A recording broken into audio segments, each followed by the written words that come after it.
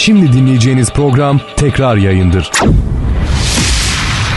Atilla Türker'le Markaj başlıyor. başlıyor.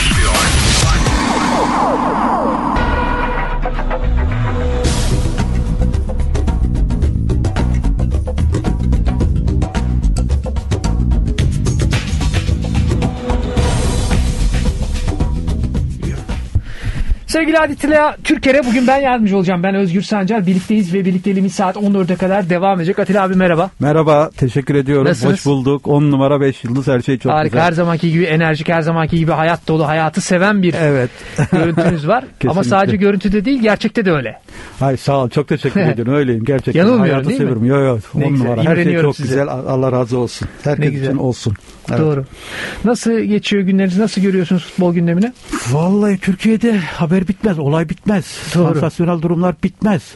Yani hep derler ya İsviçre'de, İsveç'te veya Finlandiya'da gazeteciler ne yazıyor, ne yapıyor, günler nasıl geçiyor diye. Burada feci geçiyor. Her gün bir olay, her gün bir hakem olay, Tartışma bir konusu. tartışma, milli takım, menajerler, kulüplerin isyanı, herkes kendine göre haklı, herkes kendine göre hakem niye penaltıyı vermedi, Fenerbahçe oradan Beşiktaş, Galatasaray falan derken inanılmaz hareketli geçiyor. Doğru. Özellikle son yıllarda bana mı öyle gel- geliyor bilmiyorum. Belki de yaş gereği benim jenerasyon da aynı şeyi söylüyor, düşünüyor. Son yıllarda jet hızıyla geçiyor. Günler, saatler. Göz açıp kapayınca kadar 3 ay geçiyor ya. Doğru. Feci. İnsan zaman karşısında çaresiz Atilla Evet, abi. evet, evet, evet. Ee, sevgili Özgür, hoşgörüne sığınarak ben cep telefonu buyurun numaramı vermek Buyurun istiyorum. Ee, dinleyicilerle harika bir iletişim kuruyoruz. Canlı. Yayın öncesi yani bu yayın öncesi sonrası sürekli mesajlar geliyor, telefonlar geliyor. Halimden çok memnunum. Bazen gece 3'te arayan oluyor ama olsun. İnanılmaz dinamik geçiyor. Sohbet ediyoruz, fikir alışverişinde bulunuyoruz. Şimdi yine cep telefonu numaramı vermek istiyorum. Tabii. 0549 371 0705 tekrarlıyorum. Benim Atilla Türker olarak cep telefonu numaram 549 371 0705. Tabi bir saat sürecek canlı yayında direkt aramazsanız mesaj atarsanız daha doğrusu son derece iyi olur. Mesajlarınıza Özgür Sancar'la birlikte cevaplamaya gayret ederiz ki Burada Atigol adresinden de tweette atabiliyorlar. Tabi Atigol olarak da tweet de atılabi- atılabilir. Ee, cep telefonlar mesaj atabilir. WhatsApp'tan ileti yollayabilirler. Hatta mail adresimi de vereyim. Atilla Türker 1961 ki doğum tarihim oluyor. Atilla Türker 1961 at hotmail.com hotmail.com her türlü soruyu, sorunları bekleriz. İnanılmaz çarpıcı bilgiler de geliyor. Bu şekilde iletişim kurabiliriz diyoruz. Tabii bu yayın öncesi de çok sayıda mesaj geldi. Artık dinleyicilerimizle çok sıcak ilişki kurduğumuz için, irtibat kurduğumuz için bu mesajların bazılarını da izninle okumak istiyorum. Buyurun. Ha, bu arada Tabii buyurun. belirteyim. Benim böyle gömlek giymeme şaşırmadın mı sen? Şaşırdım. Ceket, Sabah- tıraş. Sabah önemli bir önemli, önemli gündü, bir önemli dava vardı. gündü. Bir duşma vardı düzelterek Vallahi söylüyorum. Kötü huylardan birisi şudur. Ben takım elbise giyemiyorum. Ceketi çok az. Ben de kravat takamıyorum. Ben kravatta Ceket sıfıra yakın. gömlekle aram iyi ama kravat takamıyorum. Doğru aynı değil mi? Yani Peki çok iyi tuhaf şey. hissediyorum kendimi. Evet Atilla kravat. abi? Belki geçen gün Erman Torol da söylemişti. Boylu, boynum kısa olduğu için kravat takamıyorum dedi. Ha dedim herhalde Atilla Türker olarak ben de aynı dertten muzdaribim. Ben de benzer bir sorun yaşıyorum doğru. Son 10 yılda herhalde bir kere iki kere belki takmışımdır. Hatırlamıyor. Kravatı Doğru. kastediyorum. E işte bugün ceket. Bana gömlek- yakıştığını düşünmüyorum ama bugün çok şıksınız. Ee, bu her zaman şıksınız ama bugün ayrıca şıksınız. Bunun da özel bir nedeni var. Var. İsterseniz onu konuşarak Konuşalım başlayalım. konuşalım. E, bi- Biraz sonra dinleyicilerimizden gelen mesajları okumaya cevaplamaya gayret ederiz. Tamam. Bugün benim duruşmam vardı. Nedir duruşma? Beşiktaş'ın eski yöneticisi Şafak Mahmut Yazıcıoğlu benimle ilgili Cumhuriyet Savcılığına suç duyurusunda bulunmuştu. Evet. Hakaret yaptığım gerekçesiyle yani ben ona ata hakarette bulunmuşum anlamında söylüyorum. Sonrasında savcı, sayın savcı dava açılması talebinde bulundu. Dava açıldı. Bir ay önce, tam bir ay önce ilk duruşma yapıldı. İlk duruşmada tabii dinlenildi. Sayın hakim, sayın savcı dinledi. Duruşma savcısı da vardı. Bugüne duruşma ertelendi. Bugün de görüldü duruşma. Tabii halen hukuki süreç devam ettiği için çok dikkatli olarak cümleleri kullanmak istiyorum. Karar ne çıkarsa çıksın tabii ki her vatandaş gibi sonuna kadar saygı duyacağız. Ama bugün şu çıktı. Sayın savcı beraat talebinde bulundu. Tabii Şafak Bey'in avukatı da yazılı savunma talebinde bulundu bu beraat talebi üzerine savcının beraat talebi üzerine sayın hakim de 6 gün sonra tekrar bir duruşma yapılmasına karar verdi. Çok büyük ihtimal %99 onda 9 haftaya salı günü karar çıkacak. Artık nasıl karar çıkar onu bilemiyorum. Nasıl karar çıkaracağız çıksın. Her Türk vatandaşı gibi hukuka saygılı olan herkes gibi sonuna kadar biz de saygı duyacağız. Haliyle duruşmaya gittiğimiz için devletin huzuruna çıktığımız için ceketimizi, gömleğimizi, tıraşımızı olduk, giydik. Onun için ben her genelde tişörtle gelirim, kazakla gelirim. Bugün gömlek ve ceketle geldim. Tıraşımı da oldum. Ne güzel çok yakışmış. Ay teşekkür ediyorum. Atilla abi yani sizin e, Beşiktaş'ı mağdur ettiklerine dair Evet. e, işlediğiniz yaptığınız haberler ya da Beşiktaş'ın zarara uğratılması ile ilgili belgeleri ortaya koyarak yaptığınız haberler, yaptığınız yorumlarla ilgili bir dava açılmıyor.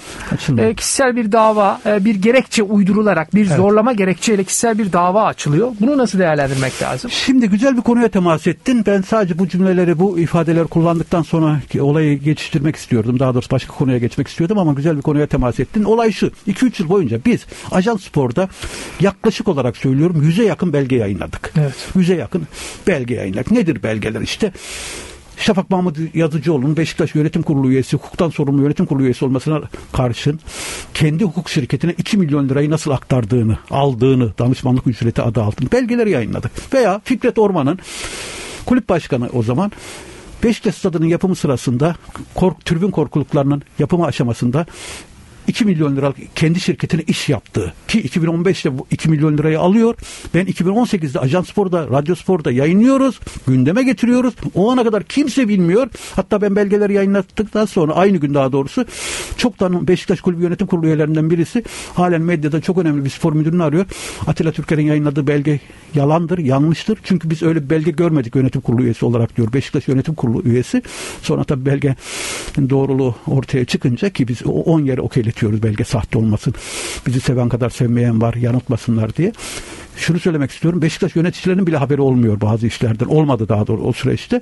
E Fikret Orman şeffaftı, şuydu buydu diyen her türlü işi stadı alımı satımı ihaleyle şöyle böyle faturalar derken e kimsenin haberi olmadan tribün korkuluklarını 2 milyon lira karşılığında kendi şirketine yaptırıyor. Veya Umut Güner'in sahte lisansla judo pardon voleybol voleybolcu lisansıyla Beşiktaş yönetim kuruluna girmesi fulle otoparkı rezaleti ki o süreçte hatırlıyorsun bak laf lafı açıyor. Şafak Mahmut Yazıcıoğlu ne söylemişti? Abimin bu fulle otoparkının verilen Mehmet Sağan'la ortaklığı veyahut da Fulle Otoparkı'yla ortaklığı kanıtlanırsa kelimeyi burada kullanırken ne olur herkesin hoşgörüsüne dayanarak söylüyorum şerefsizim demişti. Şafak Mahmut Yazıcıoğlu. Evet. Yönetim kurulu üyeliğinden istifa edeceğim demişti. Daha o cümlesi biter bitmez Türkiye'de tabii ki çok duyarlı insanlar da var. Benim Twitter'ıma bir mesaj geldi. Bir belge geldi. Aynen şu Ticaret Sicili Gazetesi Şafak Mahmut Yazıcıoğlu'nun abisiyle o peşkeş çekilen demeyim Beşiktaş Kulübü tarafından Fulle Otoparkı'nın verildiği kişinin ortaklığı Ticaret Sicil Gazetesi'nde kapı gibi duruyor. Yayınladım. Hatta daha komik, daha ironik bir şey söyleyeyim. O e, Fulle Otopark'ın verildiği şirketin adresi nereye gözüküyor biliyor musun? Neresi? Şafak Mahmut Yazıcıoğlu'nun hukuk bürosu. Ofis. ofisi. Vay. ofisi. Yani artık Daha ne neyi söyleyebilirsiniz ne ki? Daha Yani- neyi ispatlayabileceksiniz? yani dünya tarihinde veya Cumhuriyet tarihinde daha ötesi bir belge yok. Fakat kendisi sağ olsun kanıtlanırsa şerefsizim demişti. Allah yolunu açık etsin. Yani herkesin çoluğu çocuğu var. Fazla da kimsenin üstüne gitmek istemiyorum ben. Ama ha sonra ne oldu? Diyeceksin ki Atilla Türker seninle ilgili ne davası açıldı? Sonrasında yayının durdurulması talebinde bulunuldu. Etki reddedildi. Yani benim ya, ya- haberler, yayınlar olduğu gibi yayınlandıktan sonra belgelerle birlikte kendileri yayının durdurulması anlamında bir talepte bulunuyor. Sonra reddediliyor. Başka yok. Başka ne var? Şu var. Benimle ilgili herkesin hoşgörüsüne dayanarak söylüyorum. Ben 42 yıldır bir gün bile aralıksız spor muhabirliği yapıyorum. Benimle ilgili sözde gazeteci, tetikçi gazeteci, kendini gazeteci zanneden kişi, gazeteci demeye utandığımız kişi, menfaat karşılığı haber yazan kişi, 30 metrekarede yaşayan zavallı gazeteci diye ifadeler kullanıyor. Sağ olsun. Ki Siz bunlarla ilgili hakaret davası açmayı düşünmüyor musunuz? savcılığa şikayet ettim. İstanbul Barosu'na şikayet ettim kendi avukatım. Barodan ne cevap geldi? Olumsuz. Kendisiyle ilgili çok Savcı? sayıda şikayet olduğunu da duydum bu arada. Şafak Mahmut Yazıcıoğlu ile ilgili baroya yapılan Başka- çok şikayet. başka başka şikayetler. Çok sayıda. İstanbul Ha, Barosu'na. İstanbul Barosu'na. E sonrasında şimdi ne oldu? sürekli böyle basın bülteni yapıyor. O doğrultuda ben çok sayıda insandan, binlerce insandan küfür, hakaret, tehdit yedim. Tribünler koro halinde bağırdı aleyhime. Yani Sonrasında ne oldu? İyi kötü yine iletişim fakültesi mezunu olduğumu yine herkesin hoşgörüsüne dayanarak söylemek istiyorum. Sonrasında bir gün bir baktım yine 20 tane 30 tane basın bülteninden sonra yine bir gün bir basın bülteni. Tetikçi gazeteci, sözde gazeteci, para karşılığı haber yazan gazeteci, şu gazeteci, bu gazeteci falan derken ben de oturdum. Dedim ki güldüm geçtim dedim. Tweet attım. Bir lafa bakarım laf mı diye devamını getirmek istemiyorum. Mevlana'nın e, Hazreti Mevlana'nın lafıdır diye e, söyleniyor. Tartışılıyor gerçi de doğru mudur değil midir? Neyse meşhur laf yani bir lafa bakarım laf mı diye. Bir tweet attım. Kendisi sağ olsun Cumhuriyet Savcılığına şikayet etti. Çok alıngan duyarlı bir insan olduğu için veya alıngan de çok duyarlı olduğu için her zamanki gibi savcılığa şikayet etti. Sayın savcı dava açılması, kamu davası açılması talebinde bulundu. Dava açıldı. Olayın süreci bu. Ha, bekleyeceğiz, göreceğiz. Yani kalkıp da 2 milyon liralık iki makbuz karşılığında Beşiktaş'ın kasasından çıkan 2, 2 milyon liranın izahını keşke Dohat düzgün yapabilseydi. Veyahut da Fulle Otoparkı nasıl kendi en yakın arkadaşına Aksaray'da belli işletmelerde sahibi olan bir vatandaşa ne karşılığında verildi, nasıl verildi, sudan ucuz nasıl verildi. Bak belgelerle hepsi sözleşmeleri Hı. yayınlandı. Keza kendi öz abisi o Fulle Otoparkı'nın işletmeciliği verilen kişiyle nasıl bir iş ortaklığı olduğunu Ticaret Sicil Gazetesi'nde yayınlandı. E şimdi kalkılıyor. Diyor ki çok alıngan veya duyarlı olduğu için bir lafa bakarım laf mı diye savcılığa şikayet etti. Dava açıldı. Dava sonucu ne olursa olsun tabii ki ben paylaşacağım. Olumsuz da olsa paylaşacağım. Herkesin bilmesi gerekiyor. Beşiktaş'ın kasasından çıkan 1 liranın hesabını biz soruyoruz. Onun da vermesi, hesap vermesi gerekiyor. Bundan daha güzel ne olabilir? Yani demagoji yapmak istemiyorum. Şimdi sizin söylediğiniz, yazdığınız tweet ya da paylaştığınız her neyse e, Atilla abi tweet. durup dururken e, durup dururken e, atılmış bir tweet değil ki. Hayır yani tabii. size yönelik bir ithamın karşılığında e, yazılmış bir şey. Aynen. Yani siz durup dururken kimseye ona o şahsa bu şahsa gerçek kişiye tüzel kişiye bir şey yazmıyorsunuz. Kesinlikle. Sizi Çok... provoke ediyorlar, hakaret ediyorlar. Tabii, Bunun tabii. karşılığında e, üstüptü bir biçimde bir şey yazmışsınız haklı olarak. Çünkü Ke... siz de insansınız ve gayet, sinirleriniz, Gayet tabii. Var. Yani dediğin gibi ben herhangi bir gün oturup da evde ya dur bu Şafak Mahmut Yazıcıoğlu'na veyahut da işte Aziz Yıldırım'a şuna buna tweet atayım falan gibi benim öyle bir ahlaki Hı-hı. sıkıntım yok. Ne bileyim e, yaşam biçimim öyle değil. Dediğin gibi bir gün bir bakıyorsun Şafak Mahmut Yazıcıoğlu giydiriyor. Sözde gazeteci, tetikçi gazeteci, şu gazeteci, bu gazeteci. Bakıyorsun ya uzağa gitmeyelim. Kendi hukuk bürosunda çalışan 6 avukat gece 2'de bana inanılmaz hakaretler, saygısızlıklar, cümleler halen hepsi e, kayıtlı size değil mi? Tabii ki kayıtlı. Doğru. Bununla ilgili hukuksal süreç başlatmış mıydınız? Şöyle e, birini de savcılığa şikayet ettim. Ha bazıları da şimdi laf lafı açıyor. Hı hı. Aralarındaki bazı avukatlar da bana daha sonra günah çıkartmak için mail attılar. Ne diyorlar? Baskı Neydi? altında bunu yaptık ha, tabii, zorla tabii, zorla yaptık. Bazıları tweetleri sildiler. Bazıları başka hukuk bürosuna Sildiler, gittiler. Ha. Şimdi bu konuşmaları dinleyenler de Şafak Bey'e iletsinler. Tabii. Bunları da baroya intikal ettirdiniz mi? Baronun haberi var mı İstanbul? Bu bahsettiğiniz kişiler de İstanbul Barosu'na kayıtlı Gayet avukatlar. Zaten tabii baroya Onları kayıtlı onları göre. Bir tanesini şikayet ettim. Süreç devam ediyor ama onlar da beni çeşitli nedenlerden dolayı şikayet edeceğiz dediler. Keşke şikayet etseler. Hmm. Yani durduk yere halen de tweet atanlar var şahsımla ilgili falan. Ya ben en azından hukuki mecrada sonuna kadar gereğini yapmaya çalışıyoruz belgeler doğrultusunda. Hmm. Ama koskoca hukuk fakültesini bitiren değerli arkadaşlar, kardeşlerin kalkıp gece 2'de saldırıda bulunması, karaktersiz veya şahsiyetsiz anlamında pek çok tweet atmaları bir basın mensubuna kamuoyunun takdirine bırakıyorum ben. Doğru. Yani yoksa büyük Beşiktaş camiasıyla, büyük Beşiktaş kulübüyle benim minnacık ben kimim? Kendi halinde bir muhabirim. Belgelerle ortaya çıktık. Bak koskoca Beşiktaş yönetimi o zaman istifa etmek zorunda kaldı. Son seçimde 2019 yılı diye yanılmıyorsam Mayıs ayında göreve geldiler. Eylül ayında falan Fikret Orman ceketini aldı gitti. Nerede? Fikret Orman paralar nerede? Bu tezahüratı ben mi yaptırdım? Kendileri hazırladı bu zemini. Hesabı verebildiler mi bugüne kadar Fikret Orman ve Doğru. arkadaşları? Bak, Doğru. Beşiktaş Fikret... taraftarı vardı. Fikret Orman paralar nerede diye. E, gayet tabi. Halbuki paraların nerede olduğunu Fikret Orman en iyi bir şekilde açıklayabilirdi. Her zaman söylüyorum. iki tane tuşa basarak veya Beşiktaş kulübünün CEO'suna söyleyerek, muhasebe müdürüne söyleyerek kardeşim paralar nerede? Nereden geldi? Nereye gitti? Her şeyi ortaya koyabilirlerdi. Koydular mı? Demek ki bazı soru işaretleri var. Demek ki bazı bilinmeyenler var. Taraftar da inanmış ki demek ki ortada ortada bir usulsüzlüğün olduğuna Beşiktaş'ın zarar ettirildiğine inanmış ki bunu söyleyebiliyor. Gayet Böyle bir tabii. tezahürat oluşturdu. Gayet tabii yoksa Türkiye Cumhuriyeti'nde kimse bu tezahüratın yapılmasını sağlayamaz kardeşim. Ancak Doğru. yürekten gelecek, beyin buna yönlenecek. Ya, yani Büyük Beşiktaş taraftarı haftalar boyu, aylar boyu Fikret Orman paralar nerede? Dünya tarihinde belki de bırakalım dünya tarihini Türkiye Cumhuriyeti tarihinde bu kadar ağır ve anlamlı bir tezahürat acaba nerede oldu? Nasıl oldu? Ve o tezahürat Beşiktaş yönetimini yıktı. Ve o tezahürat yapılmasına rağmen hala Fikret Orman paralar neredenin cevabını kimse vermedi. Ama zamanla da bekliyoruz. Ahmet Nur Çebi de bu doğrultuda ne dedi göreve geldiğinde? Arkadaş dedi son 10 yılın denetim e, raporunu hazırlatıyoruz. Bağımsız bir denetim şirketine ki e, işte firman uluslararası bir firma ki o firma çalışmalara başladı 2 yıl önce. Hatta ben de bunun üzerine telefon ettim, irtibat kurdum. Evime kadar 3 görevli geldi. Kendilerine belgeleri takdim ettim. Şunu söyledim. Beşiktaş kulübünde olduğu kadar hatta daha fazlası bazı belgeler doğrusunda bende de var dedim. Belgeleri takdim ettim. O rapor 6 ay önce tamamlandı. Fakat Ahmet Nur Çebi hala açıklamadı. Bunu nasıl yorumlamak lazım? Şunu nasıl yorumlamak lazım? Pek iyi yorumlamak mümkün değil. Niye? O zamanlar o raporun ben elde edebilmek için bir gazeteci olarak tabii kendi menfaatim doğrultusunda zaten öyle bir şey söz konusu değil. Kamuoyunu aydınlatmak amacıyla kamu görevini yapıyoruz her şeyden önce bir basın mensubu olarak. Ee, istedim. Talepte bulundum. Verilmedi.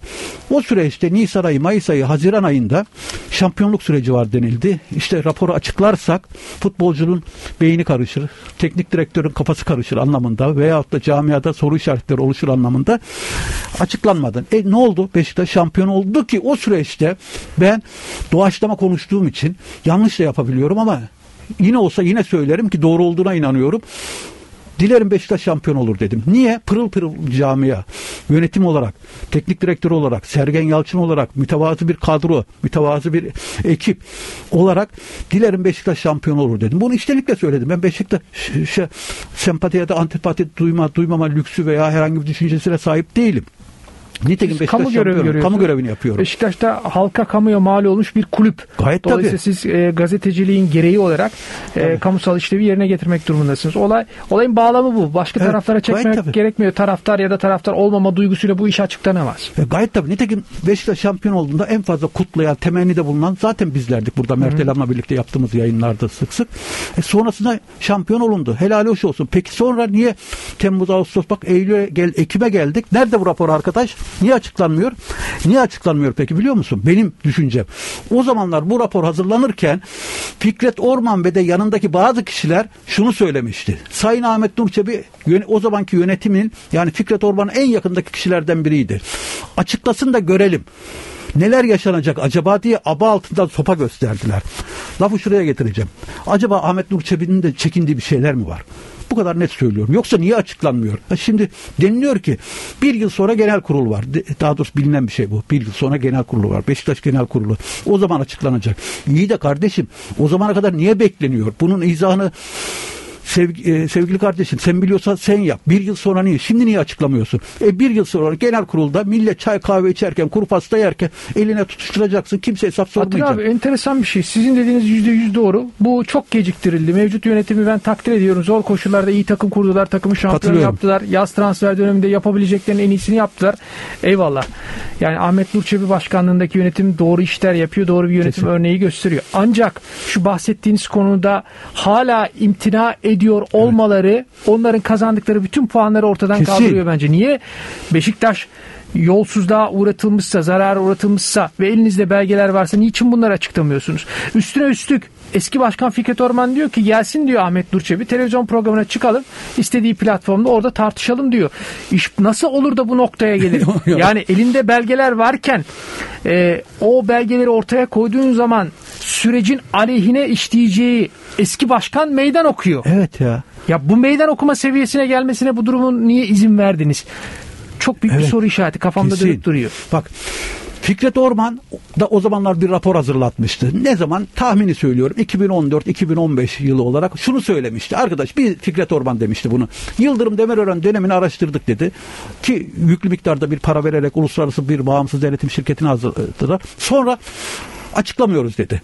Açıklamayacağız dedi Fikret Orman. Çünkü dedi açıklarsak bu raporu veya yetkili makamlara diyelim İçişleri Bakanlığı'na yok şuraya buraya verirsek eğer Yıldırım Demirören'in başı çok ağrır, bazılarının başı çok ağrır, tutuklanmalar olur, büyük cezalar olur dedi. İyi de kardeşim sen o raporu hatıra defteri olarak mı hazırlanmasını istedin? O raporu şantaj olarak mı hazırlatmak istedin dedik yayınlarda. Şimdi dönüyoruz bugüne geliyoruz. O zamanlar e, Fikret Orman'ı ağır şekilde eleştirmiştik. Halen de eleştiriyorum. Şimdi bugüne geliyoruz. Sayın Ahmet Nurçebi bu raporu hazırlattın.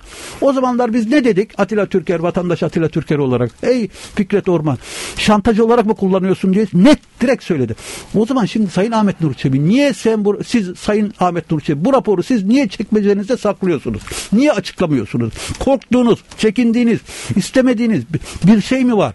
Yoksa bir yerlerden baskı mı geliyor? Tehdit mi geliyor? Yoksa birileri gibi siz şantaj yapıyorsunuz demiyorum. Fakat kafalarda soru işareti var. Pırıl pırıl oluşan bir yönetim kurulu ki genel kanaat bu. Benim de kanaatim bu. Ama siz bu raporu açıklamadığınız zaman kafalarda soru işareti oluşuyor. Aba altından sopa gösterdiler. Fikret Orman ekibinden bazıları. Açıklasın da görelim dediler. Ahmet Durçebi çok önemli bir iş insanı. Yoksa bazı yerlerden baskı mı geliyor? Rica mı geliyor? Tehdit mi geliyor? Bunları bilelim kardeşim. İsterse benim babamın oğlu ceza alacağını bilsem açıklarım ben o raporu. Açıklansın. Yani kim haklı kim haksız çıksın. Yoksa o raporu niye hazırlattınız Sayın Ahmet Durçebi? Haydi Fikret Orman alıştık Fikret Orman'ın belli davranışlarına sözlerine. Zaten ceketini aldı gitti. Şampiyonluk çok güzel. Kutlarız. Pırıl pırıl bir ekip oluşturdunuz. Harika bir kadro oluşturdunuz. Dilerim yolunuz daha da fazla açık olur. Ama her şeyden önce o, o raporun içinde ne gibi suistimaller var? Daha doğrusu var mı? Siz ne verdiniz Ahmet Nur Çebi olarak? Ne aldınız o süreçte Beşiktaş yöneticisi olarak? Veyahut da Şafak Mahmut Yazıcıoğlu ne aldı ne verdi? Fikret Orman ne aldı ne verdi? Sahte fatura var mı? Yok mu? Nereden ne sağlandı? Menajerlere ne kaptırıldı? Oynamayan futbolculara ne verildi? Her türlü harcamanın faturası var mı? Belgesi var mı? O raporlarda hepsi var. Ha, rapor açıklanır. Hiçbir sonuç çıkmaz. Bakarsın pırıl pırıl. O da ayrı bir mevzu. O da ayrı bir mevzu. Herkes gerçeği öğrenmiş olur. En azından ben Şafak Mahmut Yazıcıoğlu'nun yerinde olsam veya Fikret Orman'ın yerinde olsam bu rapor açıklansın kardeşim derim. Kafalarda soru işareti var. Yazık günah değil mi? Fikret Orman paralar nerede? O tezahürat 300 yıl daha devam edecek. Yani Fikret Orman yanlış da anlaşılmasın ya. Yarınlarda tarihte iz bırakılacak bu. Çoluk çocuk herkes okuyacak bunu. Hı hı. Gerçeklerin ortaya çıkması için ben o kişilerin yerinde olsam üstüne giderim ama ben tabi olaya düz bakıyorum. Demek ki ince hesaplar var, bilinmeyenler var. Bazı bilgilerin, raporların ortaya çıkması istenmiyor ama Ahmet bir gibi güvendiğimiz yani, dağlara kar yağması inanılmaz derecede evet, düşündürücü bir olay. Karşı taraftan da aslında bazı açıklamalar var. Karşı taraftan kasıt maalesef karşı karşıya geldikleri için eski yönetim yani Fikret Orman Başkanlığı'ndaki yönetimdeki isimler de e, değil mi tehditvari açıklamalar yaptılar Ahmet Nur Çebi'ye yönelik vesaire. Sence niye Ahmet Nur Çebi niye bu raporu açıklamıyor sevgili Özgür? Sizin söylediklerinize katılıyorum. Katılıyorsun. Başka yok yani. abi. Bir şeyler var yani. Rapor şu anda çekmecede duruyor. Üç kişi duruyormuş bu rapor. Verin abi dört olsun Atilla Türker'e de verin kardeşim. Doğru. Çok mu zor? O raporu verin kulübün genel müdürüne. Raporun dışında e, genel kurulu üyelerinin Beşiktaş'ı gerçekten seven genel kurulu üyelerinin Sayın Başkan'a sunduğu belgeler de var. Tabii. Somut belgeler. Yani kimlerin e, kişisel harcamalarını kulübe fatura ettiği, e, ne tür zararların Beşiktaş kulübünde oluşturulduğu bir önceki dönemde nelerin yapıldığı ile ilgili somut belgeler var. Bunları sunmuşlar genel kurulu üyeleri. Bu belgeleri veren genel kurulu üyeleriyle eminim siz de konuşmuşsunuzdur. Tabii. Ben de konuştum söylüyorlar. Onlar da serzenişte bulunuyorlar. Bu kadar e, ayan beyan, delilli e, e, ispatlı işler varken bunlar niçin genel kurula paylaşılmıyor? Zaten Beşiktaş yönetiminin yapması gereken e, şey e, Beşiktaş'ın gelenekleri ve tüzüğü gereği genel kurulda divan kurulu toplantılarında bunu üyelerle paylaşmak. Evet, Sonrasında da e, Beşiktaş uygun bir üslupla bunu kamuoyuna aktarır tabii, zaten. Tabii. Ama hala bu konuda bir adım göremedik. İnanılmaz bir olay. Hani bu rapor hazırlanmasaydı en azından kafalarda soru işareti devam edecekti. Hı-hı. Şuydu buydu. Şafak Mahmut Yazıcıoğlu şunu aldı. Umut Güner bunu aldı. Fikret Orman bunu aldı falan diye iddialar, ithamlar devam edecekti. Ama bizzat bu süreci düğmeye basan, yürüten insan Ahmet Nurçebi ki Ahmet Nurçebi o kadar enteresan ki bilinen bir şey. Fikret Orman döneminde iki numaralı bilemedin üç numaralı insan, olayları bilen, yürüten, araştıran, soruşturan, olayların büyümesini sağlayan insan. O Fikret Orman döneminin e, geride kalmasını, Fikret Orman'ın koltuğu kaybetmesini, sürecini yürüten insan Ahmet Nurçebi kardeşim. Herkes neyin ne olduğunu biliyor. E, Ahmet, Sayın Ahmet Nurçebi tek amacınız koltuğa oturmak mıydı? Biraz ağır olacak ama aynen bunu söylüyorum ben. Doğru. Aynen bunu söylüyorum kardeşim. Madem siz o kadar rapor hazırlattınız. Madem o süreci iki numaralı, üç numaralı insan olarak yürüttünüz ve Fikret Orman ve yönetimi koltuğu kaybetti. istifa etmek zorunda kaldılar. Bu duruma, bu getiren, düğmeye basan, süreci yürüten insan o süreçte yani 2015, 16, 17, 18 gibi yılları kastediyorum. Ahmet Nurçebi. Sonra rapor hazırlatan kim? Ahmet Nurçebi. Şu anda rapor kimde? Ahmet Nurçebi. Rapor açıklamayan kim? Ahmet Nurçebi. Raporu saklayan kim? Ahmet Nurçebi. Şantaj mı kardeşim bu? Nedir bu? Yani yarınlarda bir dakika kıpırdama Yıldırım Bey veyahut da Fikret Orman mı diyecek? Ahmet Nur Çebi. Hı hı. Yani birilerinin önüne mi kesmek isteyecek elindeki rapor doğrultusunda? Acaba Fikret Orman zamanında Yıldırım Demirören benzerini mi yaptı? Şimdi aynısını Ahmet Nur Çebi Fikret Orman'a ve Yıldırım Demirören'e mi yapacak? Bak rapor çok ağır veya rapor çok hafif. Raporun tam kapsamını zaten tahmin bir şeyler biliyoruz. Ama olduğu gibi açıklansın kardeşim. O rapor açıklansın noktası virgülüne kadar 5 dakikalık iş. Beşiktaş Ok.tr veya Beşiktaş kulübünün resmi sitesinde. Açıklayın kardeşim. Çayınızı kahvenizi alalım. Okuyalım veya bana versinler. Ajan Spor'da yayınlayalım kardeşim. Her gün bir sayfa, her gün on sayfa. Her tüm Beşiktaş camiası gerçeği öğrensin. Kimin cebine ne girdi? Kimin cebinden ne çıktı? Bu kadar basit. Ahmet Durçebi niye saklıyorsunuz? Sayın Çebi ya. Aklım almıyor. Yani hayatta her amaç amaca ulaşan her yol meşru değildir veyahut da amaca ulaşmak için her şeyi yapmak doğru değildir yani. Makyavelist bir yaklaşımla. doğru söylüyorsunuz. Kısa bir ara Aranın ardından sevgili Atilla Türker'le sohbetimiz devam edecek. Atilla Türker'le Markaj devam ediyor.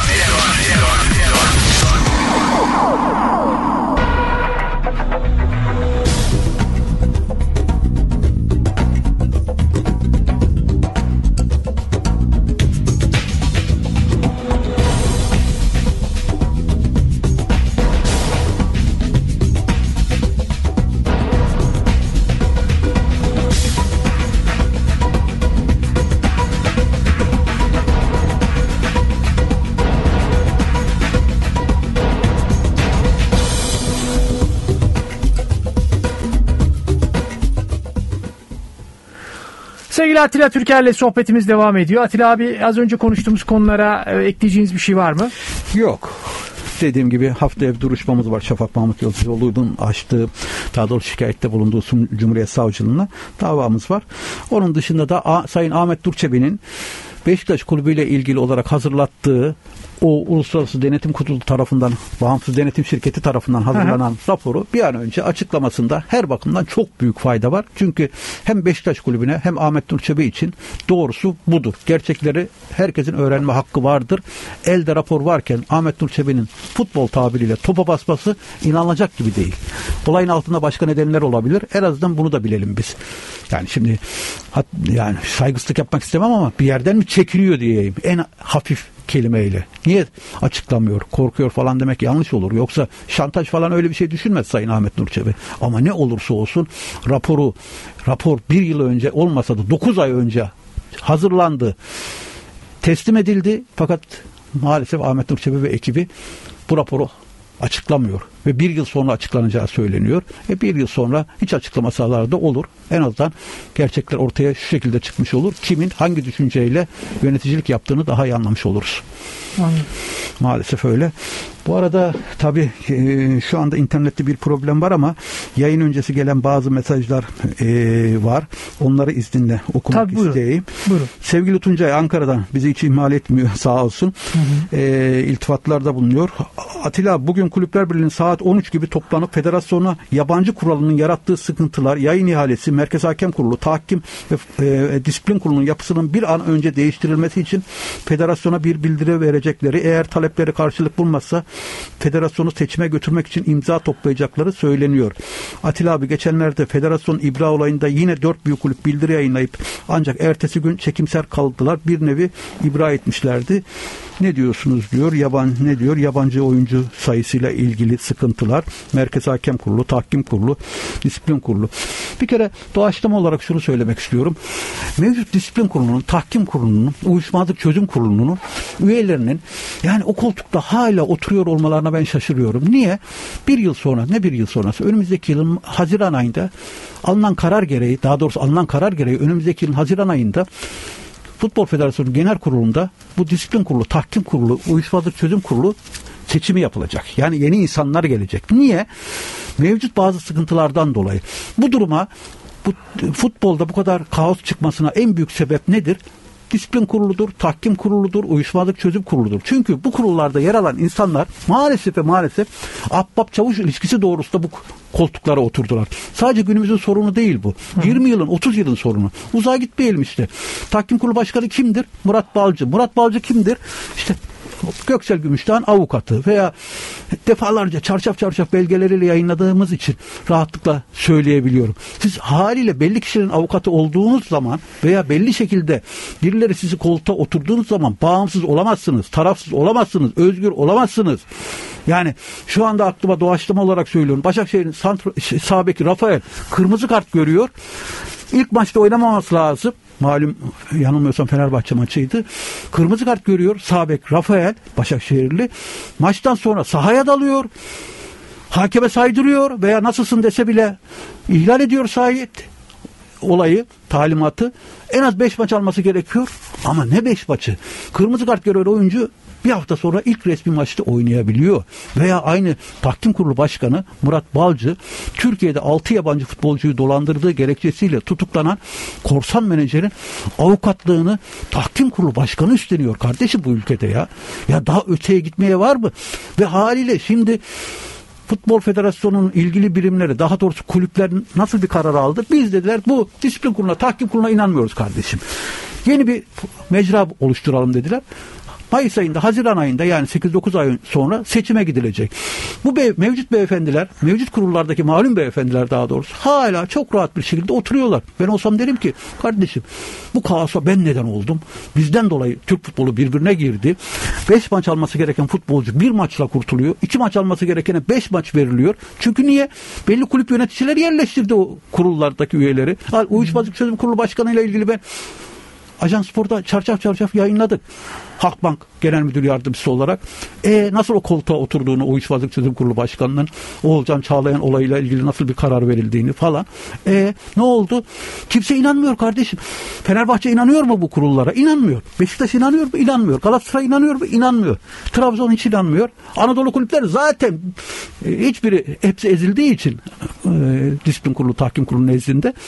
E ne olacak? Bu kurul üyelerinin istifa etmesi lazım. Ha istifa ederse ne olur? Elbet bir şey olur. Ama Mayıs ayına kadar mutlaka ve mutlaka gerekli formüller olması lazım. Bu kurullara kimsenin, hiçbir kulübün inancı, güveni olmadığı için düğmeye basılmalıdır diye düşünüyorum. Şimdi son genel kurulda Türkiye Futbol Federasyonu Mali Genel Kurulu'nda e, kulüpler bastırdılar. E, sabaha kadar süren tartışma sonrasında artık genel kurul e, Türkiye Futbol Federasyonu kurulları, tahkim kurulu, profesyonel futbol disiplin gibi kurulu gibi kurulların üyelerini ve başkanını atama yetkisine sahip olacak değil mi teorik olarak? Evet. evet. Ama e, tatmin edici bir sonuç çıktı mı? Yani e, yeterli mi sizce? Yok. Şimdi şu var. Amerika yeniden keşfetmeye de gerek yok. Şöyle düşünüyorum ben. Mesela Almanya'da veya İngiltere'de, Fransa'da nedir? Olay şudur. Çok daha bağımsız, tarafsız. Zaten Avrupa İnsan Hakları Mahkemesi de bu doğrultuda bir karar aldı. Avrupa İnsan Hakları Mahkemesi'nin kararı nedir? Türkiye'de bazı futbolcular, hakemler, teknik adamlar, yöneticiler Avrupa İnsan Hakları Mahkemesi'ne başvurdular. Türkiye'deki futbol yargısının bağımsız, tarafsız olmadığını iddia ettiler. Nitekim Avrupa İnsan Hakları Mahkemesi de karar verdi. Tavsiye kararı tabii bu. Ne dedi? Evet dedi. En son bu, Sedat Doğan davası. Sedat Doğan evet. Ayrıca bazı hakemler de vardı ama Sedat Doğan en önde gelen isimlerden biriydi. Galatasaray yöneticisi. Avrupa İnsan Hakları Mahkemesi dedi ki evet dedi. Türk futbol mecrasındaki yargılama bağımsız değil, tarafsız değil dedi. Tabii ki kabak gibi ortada, her, lahana gibi herkes iç içe geçmiş kurullarda. O onun avukatı, o onun yöneticisi, o onun derken e, haliyle kurullarda yer alan kişiler Futbol Federasyonu'nun maaşlı personeli anlamında. Haliyle yeri geliyor tahkim kurulu, federasyon yönetim kuruluyla ilgili karar vermesi gerekiyor ama tarafsız olmadığı için veremiyor falan derken bağımsız ve tarafsız olmadığına hükmedildi. İnandırıcılığı yok. Ha Almanya'da İngiltere'de İngiltere'de nedir? Şu kadar. Hüseyin Özkök sağ olsun bu konuda defalarca yazı yazdı. Çok da güzel yazılar yazıyor sevgili Hüseyin. Mesela Almanya'da disiplin kurulu 32 kişilik bir havuz. Kimin dosyası var? Diyelim X bir futbolcu. 3 kişi bağımsız tarafsız bir şekilde belirleniyor. Kim belirleniyor? Futbol Federasyonu Genel Sekreteri yahut da Disiplin Kurulu'nun Genel Sekreteri. Karar o doğrultuda veriliyor. Ama Türkiye'de kardeşim Fenerbahçe ile ilgili bir kararı ya da Galatasaray Beşiktaş'la ilgili bir kararı o kurulda yer alan Fenerbahçeli üyeler veriyor. Galatasaraylı üyeler veriyor. Ve 7 kişilik üye Misal disiplin kurulunda hepsinin hangi takıma yakın olduğunu, hangi kongre, hangi kulübün kongre üyesi olduğunu iyi kötü herkes biliyor. Ben de biliyorum. Elimde defalarca sayfa sayfa belgeler yayınladık. Haliyle ne oluyor?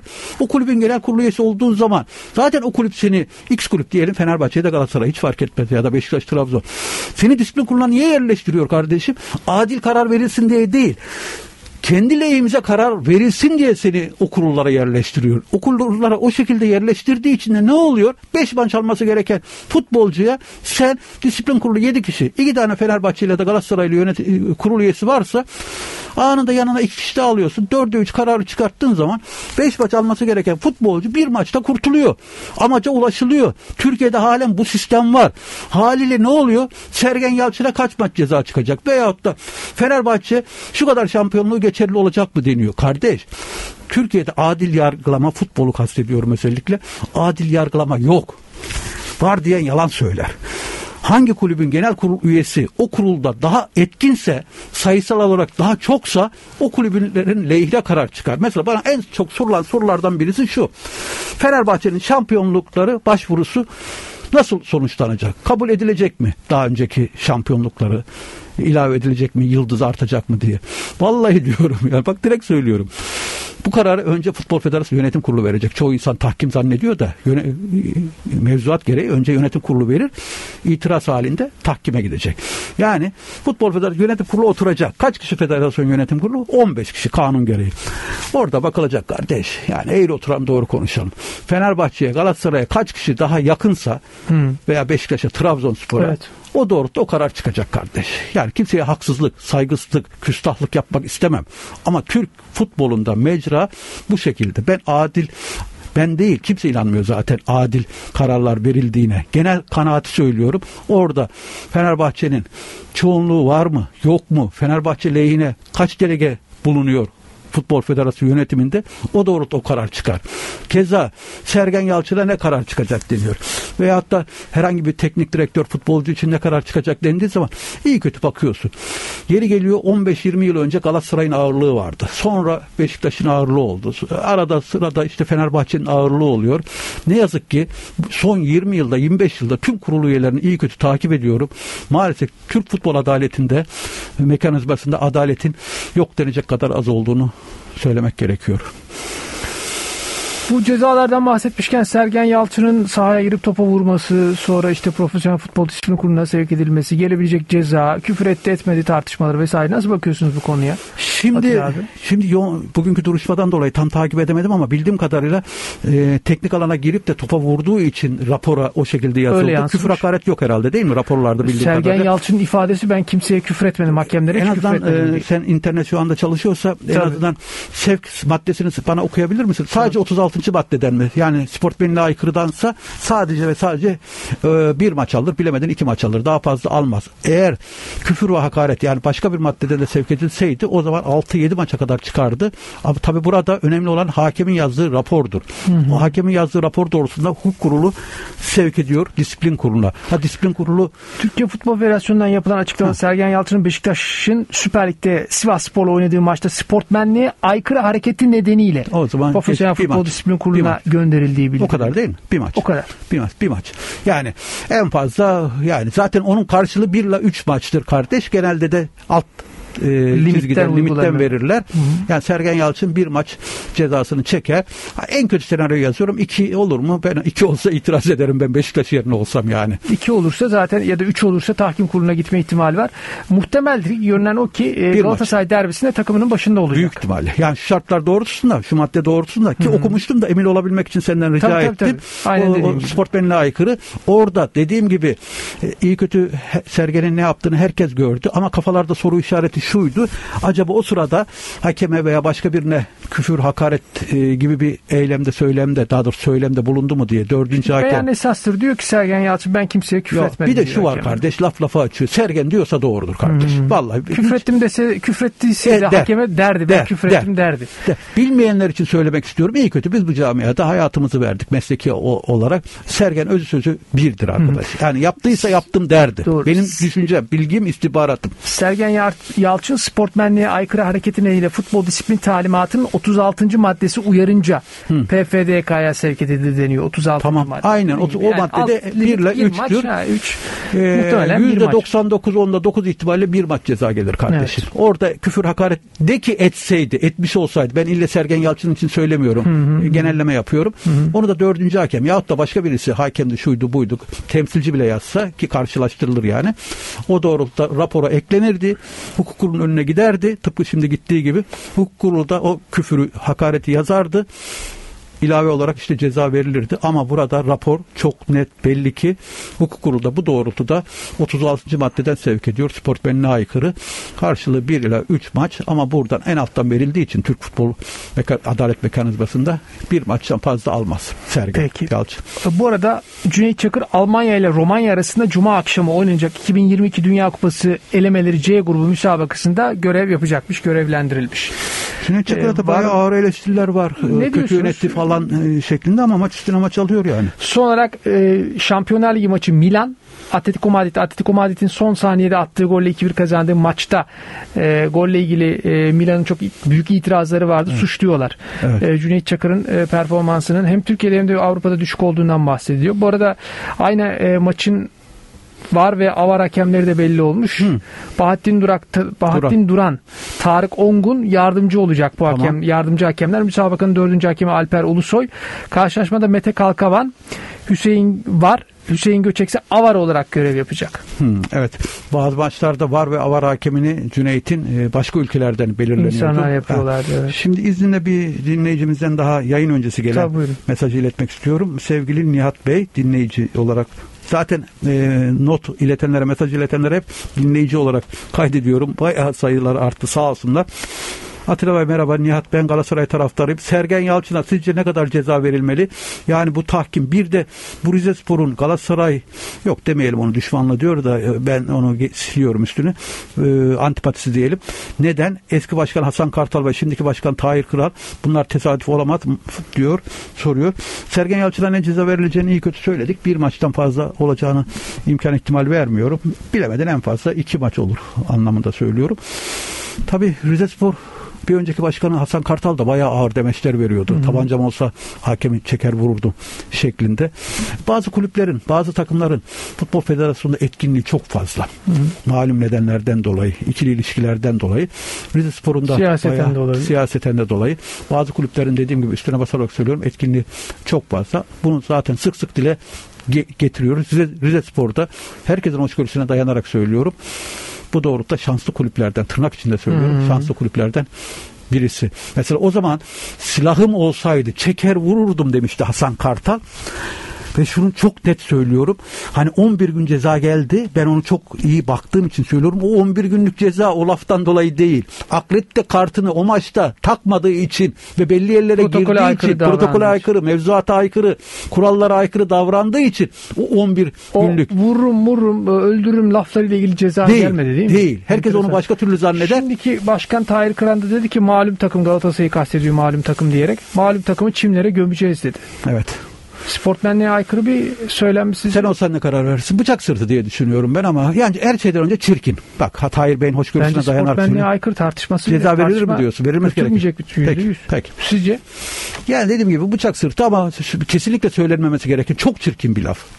Çok çirkin bir Yani laf. şimdi Galatasaraylı yöneticilere, e, Galatasaray'ın başkanına, Galatasaray'ın teknik direktörüne e, sıcak bakmıyor olabilirsiniz ya da Tabii. öfkeli olabilirsiniz ayrı mesele. Ama karşınızdaki koskoca bir kurum. Tabii. Yani Türkiye'de az önce Beşiktaş'ta söylediğim gibi Beşiktaş ve Fenerbahçe için söylediğim gibi topluma mal olmuş, kamuya mal olmuş bir kurum ve büyük kitleleri arkasından sürüklüyor. Yani malum takım diye hitap etmek bir kere e, bir kere doğru değil. Bak üstüne Etik basarak olarak söylüyorum. yanlış. İnanılmaz İkincisi çimleri çirkin. gömme ifadesi Tabii. bir başkanın kullanacağı bir ifade değil. Taraftarlar bunu söyleyebilir ayrı mesele. Ama yöneticilikle taraftarlık, kulüp başkanlığı ile taraftarlık birbirinden farklı şeyler. Peki şurada bir fikir jimnastiği yapalım. Üstüne basarak söylüyorum. Çok çirkin, yakışıksız, olmaması gereken, söylenmemesi gereken bir laf. Tahir Kıran ya da başkası hiç fark etmez. Olmaz böyle bir şey. Söylenmez. Söylenmemesi lazım. Kulüp başkanı olarak veya yönetici olarak, malzemeci olarak. Hiç fark etmez. Bu laf senin önüne, disiplin kurulu başkanı olsa bu laf senin önüne gelse Tahir Kıran ya da başkası Atilla Kıran önüne gelse ceza verir misin vermez misin? Senin düşünceni merak ediyorum. Ben e, tür- fut- Profesyonel Futbol Disiplin Kurulu Başkanı e, olsam tereddütsüz ceza veririm. Verirsin. Tamam. Hayır. Saygı duyulur. Ben de zaten yani e, çok çirkin olduğunu üstüne basarak belirtiyorum. Bıçak sırtı olduğunu da belirtiyorum yani. E, verilebilir yani. Milli takım yarın Kadıköy'de Norveç'i Hmm. ağırlayacak. Sinan Bolat maç kadrosuna davet edildi. Kenan Karaman sakatlığı sebebiyle elinde kırık vardı çıkartıldı. Halil Dervişoğlu Galatasaray'dan alındı. Ne diyorsunuz? Bu Yeni teknik. Sevgili Sinan Bolat nasıl çağrıldı? Sen bilirsin. Sen Avrupa futbolunu çok vakıda tanıyorsun. Ben anlam veremedim bak onu söyleyeyim. Sinan Bolat e, zaten milli takımın geniş kadrosunda yer alıyordu ama e, son dönemde çağrılmıyordu. Çünkü ne Gökhan Akkan çağrılıyordu 3. kaleci olarak. Altay, e, Mert Uğurcan, Günok, Mert. Uğurcan zaten bunlar temel kaleciler dönüşerek oynuyorlar. Son olarak Uğurcan birinci kaleci oldu vesaire. Sinan zaten çağrılmıyordu. Ama öncesinde Sinan birinci kaleci de oldu milli takımımızda. Yani bir tecrübesi var. Neyi düşünerek e, davet ettiler tam olarak kestiremiyorum. Bir. ikincisi elbette ki Kenan Koçak'ın da milli takım ekibine dahil olmasıyla birlikte Stefan Kuntz'un tercihlerinin bir önceki döneme göre farklılaştığını görüyoruz.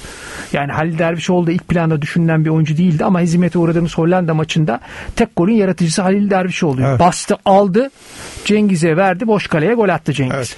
E, dolayısıyla ha, Galatasaray'daki son dönem performansı eleştirilebilir. Belki e, performans sorunu yaşıyor olabilir ama e, sadece kulüp düzeyindeki performansıyla milli takım oyuncu seçmek de doğru bir kriter değil bence. Çünkü milli takımda oynadığı son maçlara e, eğer sonradan oyuna girmişse oyun içerisindeki etkinliğine de bakmak lazım.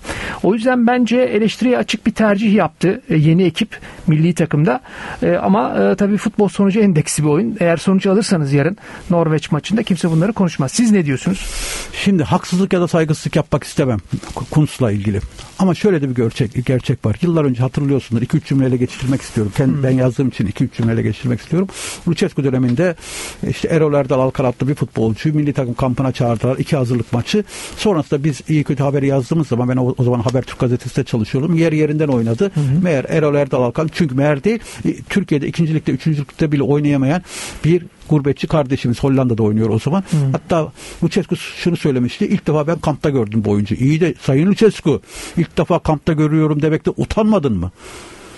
En azından sen niye Hollanda'ya, Amsterdam'a bir uçak e, tarifeli uçakla herhangi bir antrenörünü yollamadın? Kimse izlememiş. E tavsiye. Herkes birbirinin üstüne attı. Abdül, fatura Abdullah Ercan'a kesildi. Böyle bir dünya var mı? Gideceksin içeride dışarıda o fut, hangi futbolcuyu çağıracaksan izleyeceksin. Beğenmiyorsan çağırmayacaksın. Yani nihayetinde Nikaragua bile olsa gidilmesi lazım. Hollanda günde 8 tane uçak kalkıyor Hollanda'ya. Niye gitmiyorsun? Çünkü eline tutuşturdular çok büyük ihtimalle. Dava açacağım dediydi. Nerede dava? Bak dava da orta, ortada yok. Laf şuraya getireceğim. Bu kadroyu acaba saygısızlık yapmak istemem. Daha dakika 2. Kunz bağımsız, özgür, tarafsız bir şekilde kendimi belirledi. Yoksa yanındaki bazı insanlar göreve getiren, getiren bazı insanlar tavsiyede mi bulundu? Çünkü Mert Günok'un olduğu bir yerde ben Sinan Bolat'ın çağrılmasını tuhaf buluyorum. Yaş 34 veya sadece Mert Günok değil. Türkiye'de çok sayıda başarılı, genç, iyi kaleciler de var. Orada benim kafamda soru işareti var. Ha bakın bunu bu Lucescu için ağır ifadeler kullandım. Çünkü orada savunulacak bir taraf yok Lucescu'nun o Erol Erdal Alkan olayında. Ama burada hani belki iyi niyetle şu söylenmiş olabilir. Say, Kuntz'a veya Kuntz kendi, tek başına kendi de karar vermiş olabilir. Nihayette Kuntz Evet. Sinan Bolat'ı mutlaka Avrupa'da, Belçika'da, şurada burada tanıyan, bilen, izleyen bir insandır kendisi karar vermiştir. Ama yine de bana çok şaşırtıcı geldi. Ha, yarınlarda zaten iyice herkesi tanıyacaktır. Tek başına karar verecektir. Veya tek başına olmasa bile çok güvendiği yardımcıları vasıtasıyla karar verecektir. Ama bu işlere çok dikkat etmek gerekiyor. Peki. Atilla abi ağzınıza sağlık. Bitti mi? Bitti. ben teşekkür ediyorum. Haftaya görüşmek dileğiyle. Çok çok teşekkür Herkese ediyorum. mutlu günler. Herkese iyi günler. Sağ olun.